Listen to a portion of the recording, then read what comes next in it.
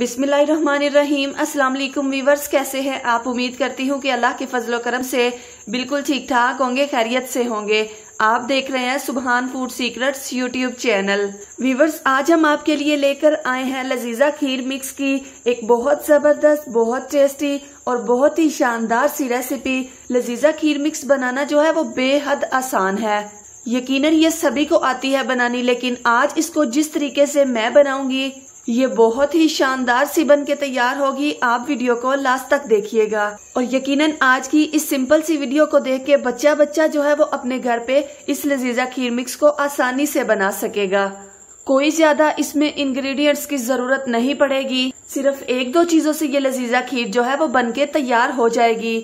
चलिए बिस्मिल्लाह करते हैं। जल्दी जल्दी आपका वक्त जाया किए बिना लजीजा खीर मिक्स की रेसिपी बनाना स्टार्ट करते हैं।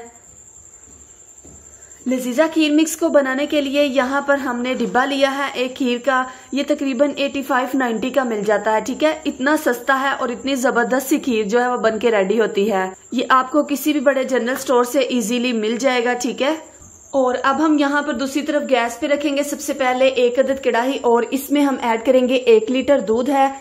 खीर के एक डब्बे के लिए हमें एक किलो दूध चाहिए ठीक है?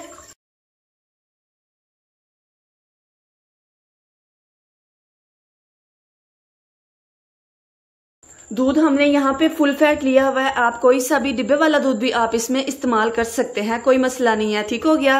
एक ज़बरदस्त सा उबाल आने देंगे। ये जी, यहाँ पर आप देखिए, दूध में ज़बरदस्त सा उबाल जो है वो आने लग चुका है। और अब हम इसमें ऐड करेंगे ये टू टेबल स्पून हमारे पास पिस्ते, बादाम और काजू हैं, जिनको बहुत बारीक हमने कट कर लिया है। वो हम इसमें ऐड करेंगे। और साथ ही में इसमें हम ऐड करेंगे वन फोर टी हमारे पास इलायची का पाउडर है, वो हम इसमें ऐड करेंगे। अगर इलायची पाउडर नहीं है तो आप साबुत इलायची को खोल के इसमें डाल दीजिएगा, कोई मसला नहीं है। और अब हम इसमें ऐड करेंगे ये लजीजा खीर का एक पैकेट। इसे हम मिक्स करेंगे और यहाँ पर गैस का फ्लेम मीडियम करके इस खीर को हम पकने देंगे। तब तक पकाएँगे, जब तक ये जो खीर है, ये गाढ़ी ना हो जाए, ठीक है? गैस का फ्लेम आप लोग मीडियम ही रखिएगा और पास खड़े होके आपने चम्मच को चलाते रहना है ताकि ये जो खीर है ये नीचे ना लग पाए। साइडों से भी आप इसे रिमूव करते रहिएगा। ये लें जी, यहाँ पर लगे हैं तकरीबन चार से पाँच मिनट इसे मीडियम फ्लेम पे पकते हुए और आप देख सकते हैं, माशाल्लाह से खीर जो है हमारी जो वो ज़बरदस्त गाढ़ी हो चुकी है। और यहाँ पर मार्केट जैसी खीर बनाने के लिए हम इसमें ऐड करेंगे ये एक ड्रॉप हमारे पास रूह केवड़ा है, वो हम इसमें ऐड करेंगे। ये बहुत ज़बरदस्त सी खुशबू होती है, ज़रूर आप लोग भी ऐड करिएगा। ये इस तरीके से मिलती है और बहुत ही इजीली मिल जाती है, ठीक है? और इसे यहाँ पर अब हम मिक्स करेंगे। गैस का फ्लेम यहाँ पर हम बंद कर देंगे और इसे हम थोड़ा सा ठंडा कर लेंगे। ये ठंडी होके अभी मजीद गाढ़ी हो जाएगी, इसी पॉइंट पे हम फ्लेम को ऑफ़ कर देंगे और इसे यहाँ पर हम रूम टेम्परेचर पे आने देंगे।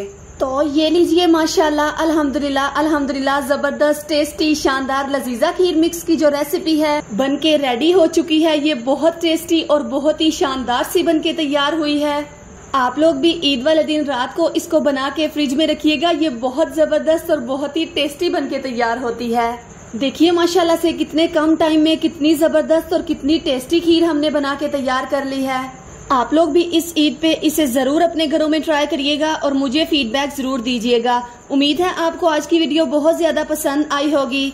अगर वीडियो अच्छी लगी हो तो इसे लाइक करिएगा। अगर आप मेरे चैनल सुबहान फ़ूड सीक्रेट्स पे नए आए हैं तो सब्सक्राइब किए बिना मत जाइएगा। अपनी दुआओं में याद रखिएगा। मिलते हैं आपसे इनशाला नेक्स्ट वीडियो के साथ नेक्स्ट रेसिपी के साथ। तब तक रखना है आपने अपना ढेर सारा ख्याल। दुआओं में मुझे याद रखना है। हँसते रहिएगा, मुस्कुराते रहिएगा, यूँ ही आप हमारे साथ साथ रहिएगा। वीडियो पसंद आई हो तो इसे अपने फ्रेंड्स और फैमिली मेंबर्स के साथ ज़रूर शेयर करें। मिलती हूँ आपसे इनशाला नेक्स्ट वीडियो में। तब तक के लिए आप सभी को करती हूँ अल्लाह हाफिज।